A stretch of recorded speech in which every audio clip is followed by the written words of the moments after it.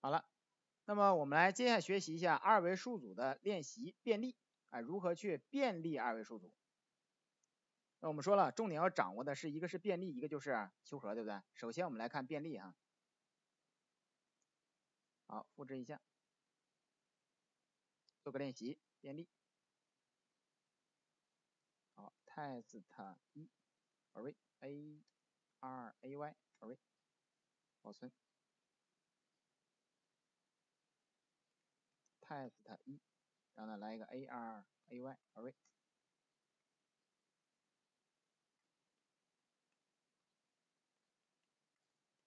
好粘贴。二维数组的便利，那么我们便利一维数组时候怎么便利的呀？便利一维数组是不是通过 for 循环就便利的？那么二维数组是不是相当于是数组中有数组？那你便利的时候是不是应该是循环中嵌套循环啊？所以便利二位数组，我们应该用 for 的嵌套循环。那么就把刚才这个代码拷过来哈，就它，哎，上来就初始化就行了，省得我们挨个复制了。那我们现在想把它便利怎么便利呢？如果便利一维数组的话，我们用一一层的 for 循环就可以了。现在便利的是二维数组，我们来一个循环中写循环 for int i 就等于了零。那首先外层循环你是不是应该拿到每一个一位数组？这块能明白吧？外层循环应该拿到每个一位数组。那我现在这里面有几个一位数组？是不是有三个？有三个的话，那是不是就代表的是 AR 的 length？AR length 是不是存在着三个一位数组？所以应该就是 i 小于谁呀？AR 点 length length，然后来一个 i 加加。那么这个其实是。获取到每个二维数组中的一维数组。那我问一下大家，我想表示一维数组，就是想直接表示一维数组，是不 AR 零代表第一个一维数组，AR 一是不代表第二个一维数组？那这个 i 的变化是不跟我们这个一维数组的变化是一样的？所以 AR i 就代表的是每一个一维数组，对不对？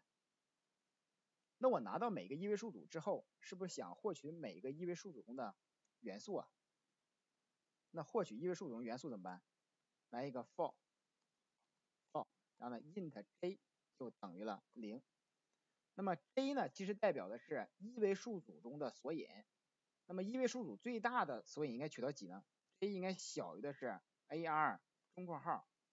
如果是第一个一维数组，那是不是就 ar 零点 L E N G T H，让它来一个 A，加加。那如果是第二个一维数组，那是不是就是 ar 一点 length？如果第三个一维数组是不是 ar 二的 length？所以这里面应该是 ar 什么？ar i 的 length，对不对？它是不是代表每个一维数组？